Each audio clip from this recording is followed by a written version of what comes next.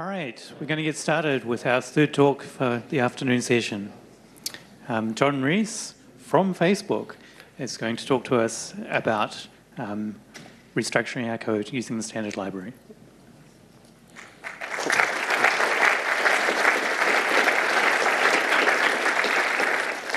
Hi, so I'm a production engineer at Facebook, and I work on our internal Python Foundation team. Uh, for context, Python is the third biggest language at Facebook and the number one language at Instagram. And the Python Foundation team helps to build tools and integrations that make Python better both inside and outside of the company. So today, I'm talking about refactoring code using the standard library. So the definition I'm using is uh, just general improvements or modifications to uh, source code, either simple or complicated, and either uh, hand-edited or uh, automated, uh, but essentially is some sort of modification to the entire repository rather than just uh, one individual file.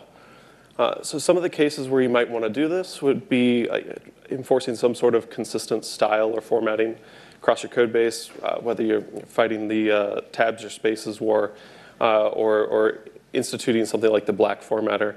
It could also be cases removing some sort of like code smells like uh, named lambdas and replacing them with some sort of actual functions. Uh, could just be uh, removal of dead code and making sure that all the references to it are uh, removed from the rest of the code base.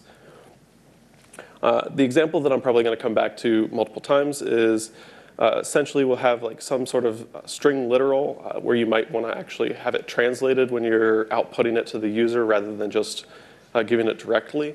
And maybe you have some comment saying that you should actually take care of that someday. but ideally, we want to you know, uh, wrap that sort of string literal in a function call, and then uh, for bonus points, remove the comment in front of it. Uh, sort of things, this the kind of thing that we tend to do at Facebook we call code mods, where it's an, an automated refactoring. And uh, we have uh, essentially a monolithic repository for most uh, of our stuff at Facebook, and this essentially means all of our projects are in one repo. This also means that if you were to change an API, and somebody's depending on that, you would immediately break their builds or their tests or something. And so you have to make sure that you're updating all of these references. And doing this in an automated way allows you to uh, most, e most easily do uh, make these changes without uh, breaking any tests or, or builds. Um, so more specifically today, I'd like to talk about uh, syntax tree refactoring. Uh, as, com as compared to something like uh, using regular expressions or, or simple find replace. Uh, essentially, it's modifying the code as uh, these tree structures of nested objects. And it's generally based uh, somewhat on the actual Python grammar itself. And this gives you semantic context for each of the objects that you're editing. And if you do it right, then you're essentially guaranteed that you're going to generate valid syntax out of the end, as opposed to regular expressions. Um, so for the grammar itself, most languages uh, have this grammar that defines what tokens and syntax will be allowed. Uh, the, the, most common form is Backus-Naur form, and essentially it's a set of rules that expand to more rules or string literals or a combination of the form. And uh, let's just say we wanted to look at uh, numbers.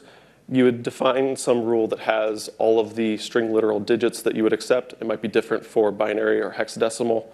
Um, and then if you actually want to build a larger number out of that, you would recursively use either a single digit or a combination of a digit and the recursive number rule. If you wanted to add them together, you could have another rule that defines the number, the string literal plus sign, and another number. And you don't generally have to worry about white space in these cases because the tokenizer will take care of that. In the case of Python, it actually uses a modified form of this. Uh, the tokenizer deals with more than just white space. It also gives you some helpful uh, tokens for numbers, string literals, variable names, and more. Uh, the rules can also use more complicated uh, structures like parentheses for optional uh, pieces, I'm sorry, for alternative structures, or you can use the square brackets or star for, for optional elements. And if we wanted to look at how the actual things like function calls would be defined in the grammar. This is an excerpt, excerpt from the actual grammar file, uh, kind of abridged so that it'll actually fit on the slide. Uh, the way that Python combines things together you would actually use this power rule at the bottom uh, or at the top, expand it out towards the atom expression, which would allow you to optionally await whatever, uh, whatever you're working with. The atom would contain things like the actual variable or function name that you're editing or working with, or it could also be a number or string. And then there's some number of optional trailers at the end, and these would represent things like either function calls, list access, or similar. And if you ex expand further through, uh, the trailer has the, the uh, string literals for the parentheses in the case of a function call, and then some optional argument list, which then uh, continues expanding through and through. And the arguments themselves, you know, comment separated, and uh, would also include things like any type annotations or, or default values or the star args, things like that. So the way this would actually uh, look with the, the code example from before, uh, we're going to assume it's uh, Python 3 so that we actually get a print function instead of a statement. Um, I'm not sure if the rules are actually legible, but um, essentially you expand that starting with the power where it encompasses the entire uh, function call. And as you expand through the atom expression, again, also encompasses both because we're not doing any factorials, uh, the atom expression would expand into the atom at the beginning for the, the variable uh, print, which is just part of the regular namespace, which again is itself a, a name token. Uh, the following part would be the uh, trailer, which contains the parentheses and the arguments. Uh, and then the arg list is just inside the parentheses, which then contains the one argument, which is the string literal. Um, so when you actually get to the point of working with syntax trees, uh, these are generally based off of those grammar elements. The most common form is the abstract syntax tree. Uh, and again, in this tree structure, uh, leaves would be the, the edge tokens, and then nodes would be elements of the tree that either contain leaves or more nodes. But in the case of abstract syntax trees, this is generally a runtime focused uh, view of the code. So you lose a lot of uh, metadata like comments or formatting. And so if you were to actually try to um, put this back out into a source file, you would end up losing a lot of that data. But the way this would actually look with the standard AST module um, is you'd have the call object at the bottom, uh, the name element for the function that you're actually going to be calling, and then the arguments uh, for the, the string. And if you look at this as actual objects that you would get back from the AST module, then you have the call object and the, the name and string and so forth.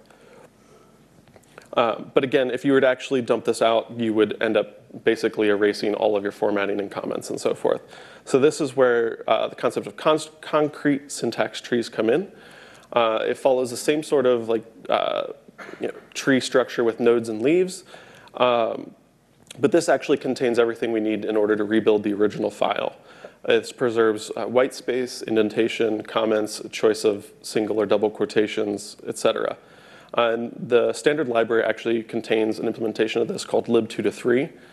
It was originally built for the 2 to 3 conversion code for moving code from Python 2 to Python 3. But the benefit of this is that it, it can parse all Python grammars from Python 2 or Python 3. Um, so the reason uh, to, to use this rather than some of the alternatives out there might be that it's because it's part of the standard library, it's going to be well maintained and supported as, as new versions come out.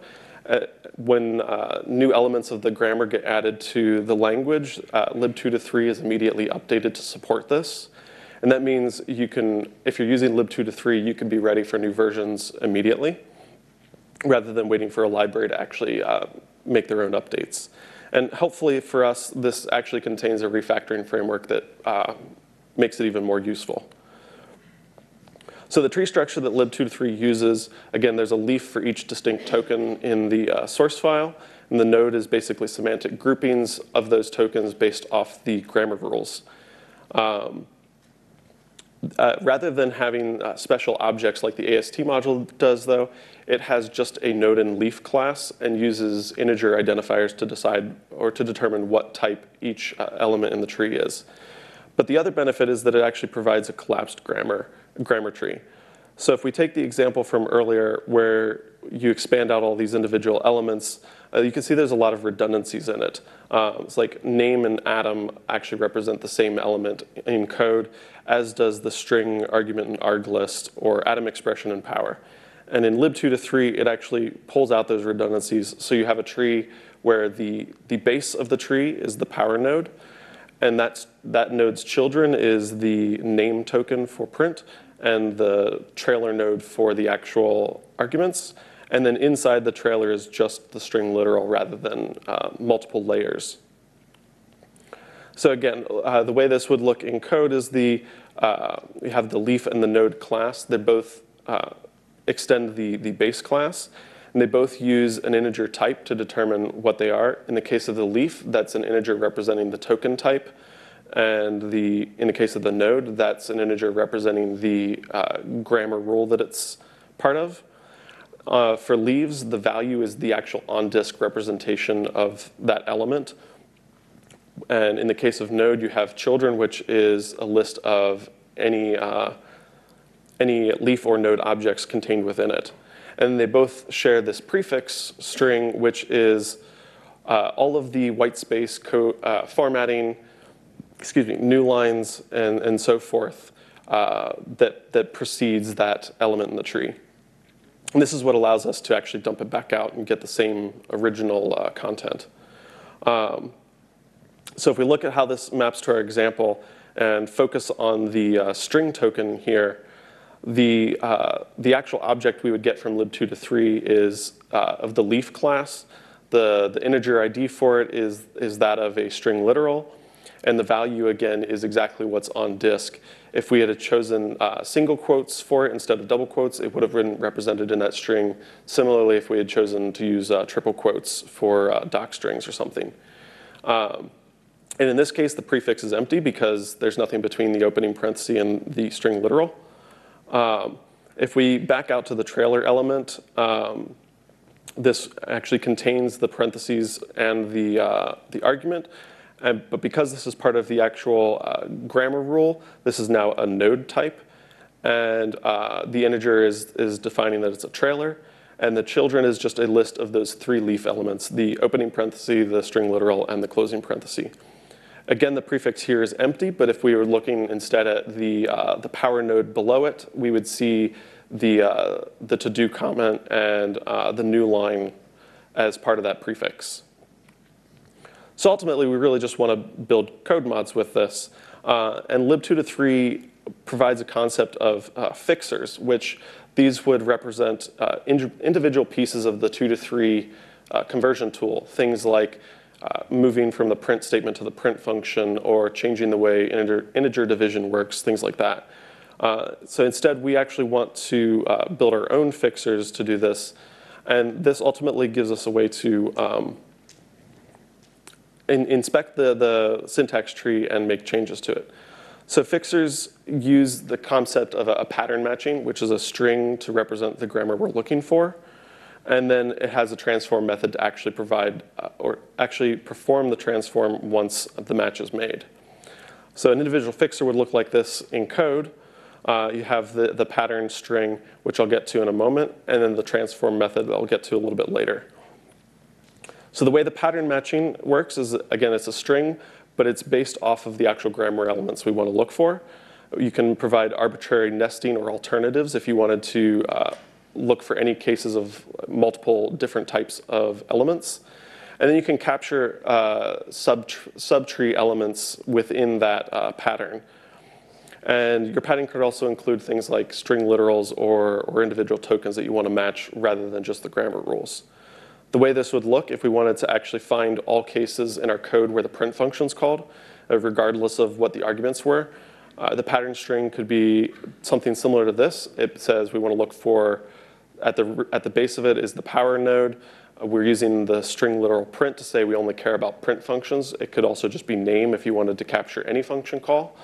Um, and then we're using the trailer node to, to basically define that it's actually a function call rather than a list access or something. We have to put in the, the literal parentheses. And in this case, we use any to represent we don't really care what the type is of the element in, inside, and the star to say that it could be zero or more.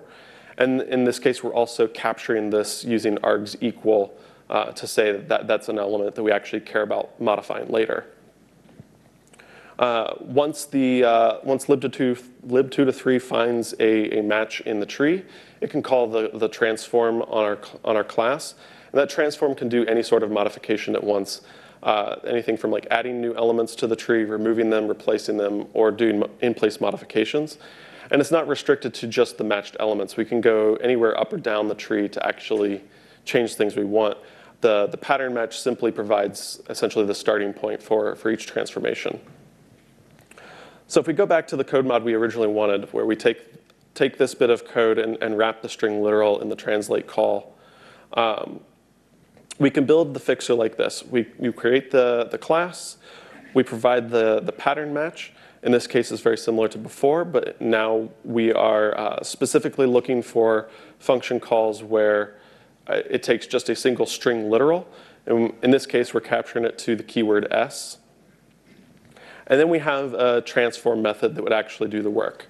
Uh, using type annotations, uh, basically this method would take uh, the first node or, or leaf that was matched by the pattern. Uh, and this could be, again, either a leaf or node, which is represented by base. And the results is all of the captured elements uh, from our pattern.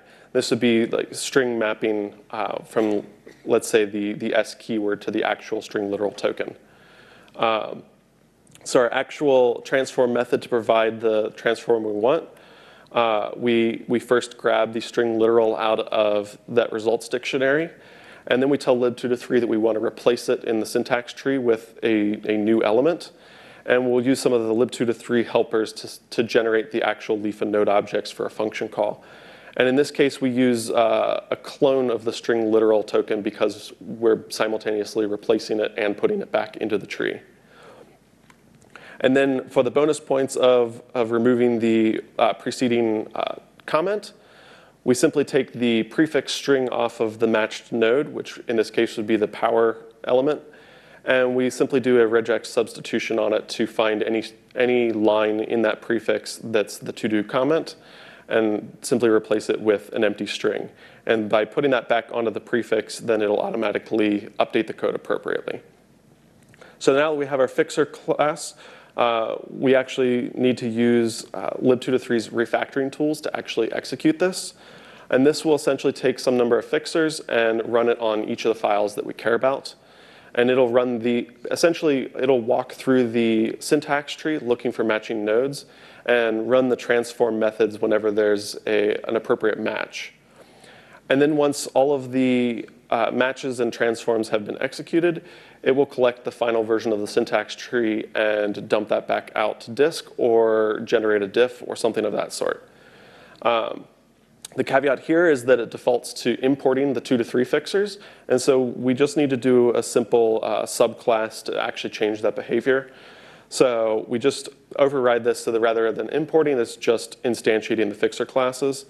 And then we can actually run this by uh, giving it the, the fixer class that we had and run it on our source file or directory, and then tell it to give us the results.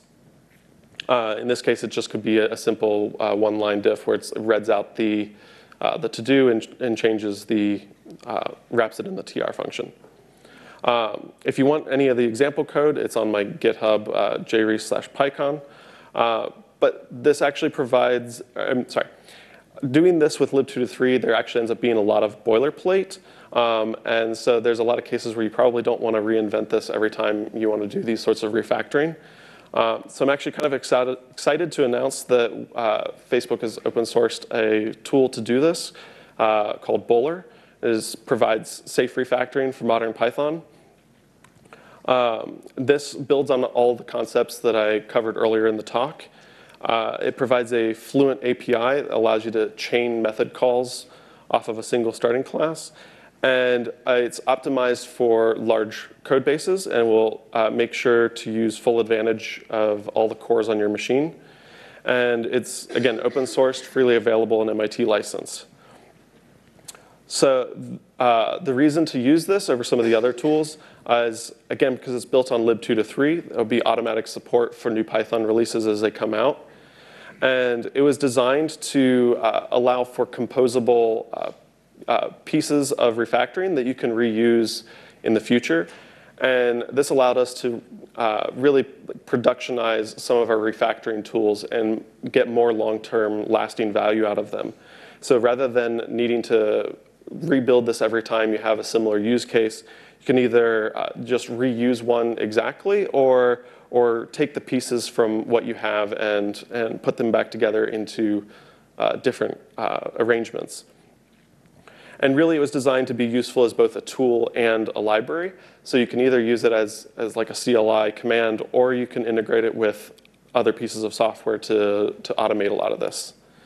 Uh, the way it works, again, with the, the Fluent API, you build a query pipeline essentially, where you, you build multiple transforms, and each one consists of a selector, which generates the, the pattern matching, uh, some optional fil filter functions to actually reduce the set of matches, and then uh, modifier functions to actually do the transforms on the syntax tree whenever there's a filtered match. And uh, Bowler will actually either generate diffs or provide interactive results. So if you've used something like git add-p uh, or whatever the Mercurial uh, equivalent is, uh, it, it, will show you a diff for each hunk and you can say yes or no and make sure that every piece of it that you're working on is, is actually a modification you want to make. Uh, the way this would look with the, the Fluent API is something similar to this. Again, it's, it's method chaining off of a single object. Um, you would start the pipeline by creating the query object, tell it the source file or directory uh, that you want to operate on. Uh, you use the selector to actually define what you're matching against. In this case, we'll uh, match against any use of the print function. Uh, and by default, the selector will actually find if, if there was a case where we defined a print function or imported a print function, it would find that as well. And then we can filter those results to say we only care about cases where the function's actually being called rather than defined. And we can add a custom filter to further restrict that to when it has just the one string literal as its argument. And then we can mostly reuse the function we had earlier to actually do the modification and wrap it in the translation uh, call. And then ultimately, we tell it we want to generate a diff. There's al alternatives for actually generating the interactive output. Um, the custom filter function I mentioned uh, essentially returns true or false, whether or not the, the element should be modified. It takes the leaf or node and the, the capture dictionary. You basically treat it the same way you would with transforms you get the, the captured element out of it. And in this case, we look to see if the first argument from that uh, function is uh, the string literal and return true or false. The actual modification looks almost exactly like what we had before. Again, a leaf the node takes the leaf or node and the capture dictionary, and then uh, does the appropriate uh, change in the syntax tree. And then when we actually uh, want to run this, we just basically put it in a file, uh, say bowler run and the, the code mod file, and it will actually generate the output uh, right there as the diff. Again, al alternatives for like interactive modes and, and things like that.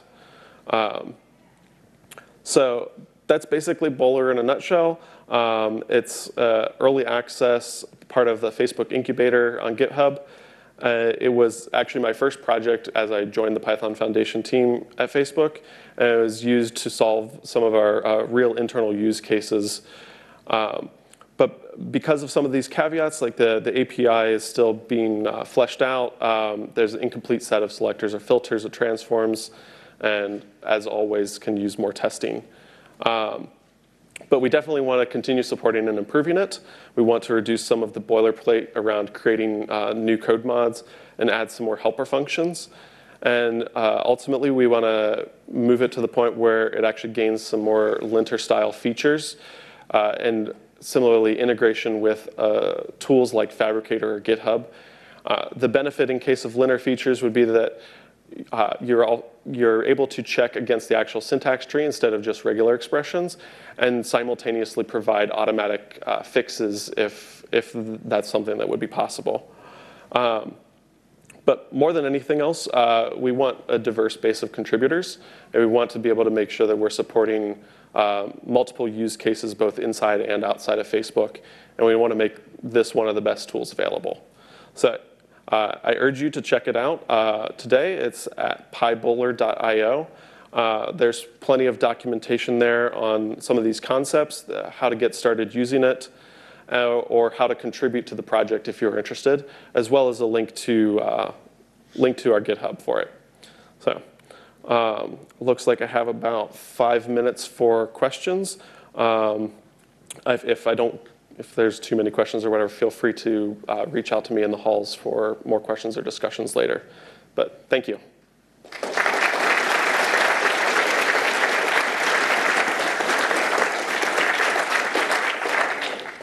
So, do we have any questions?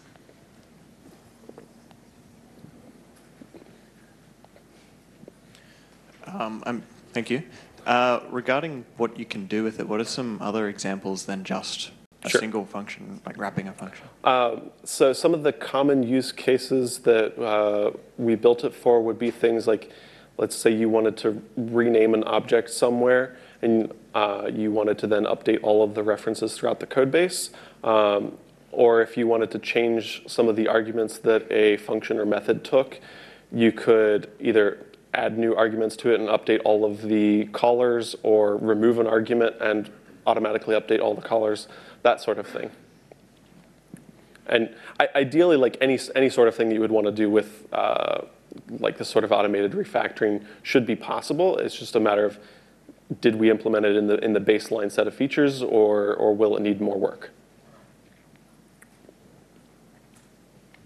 More questions? Uh, thanks. Yeah, really interesting. Um, so I'm fairly comfortable with regex refactoring on a large scale like that. I can see how this could make for far safer um, refactors. As you've gotten used to it, do you find it's faster or slower to use than like to set up a big one than a regex system?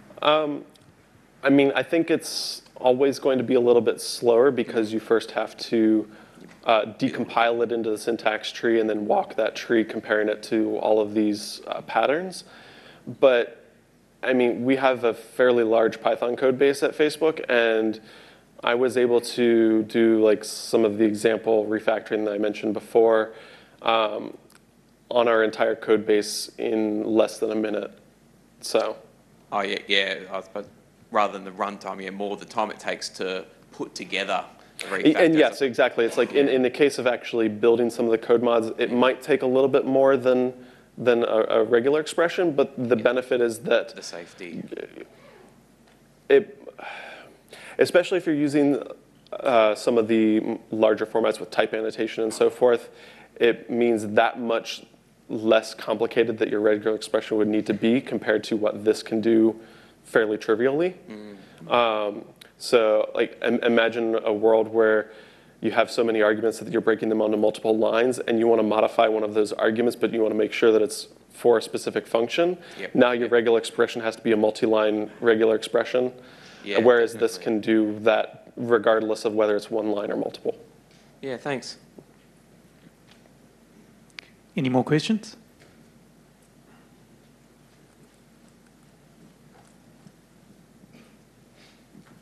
Hi. Um, do you think this would be a suitable, or libtopy, uh, would be a suitable tool for style checking students' code?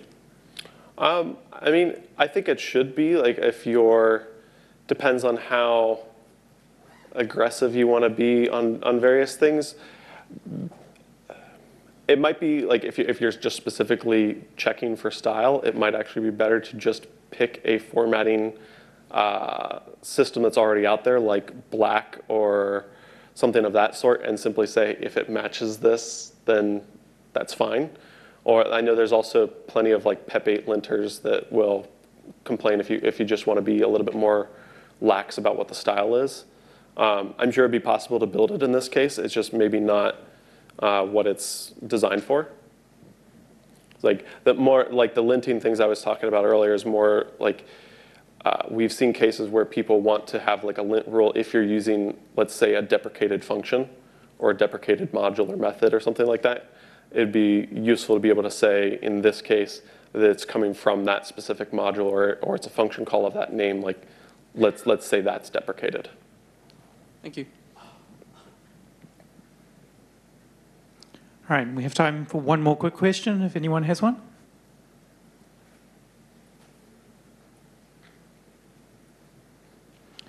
All right. Um, please thank John for his talk.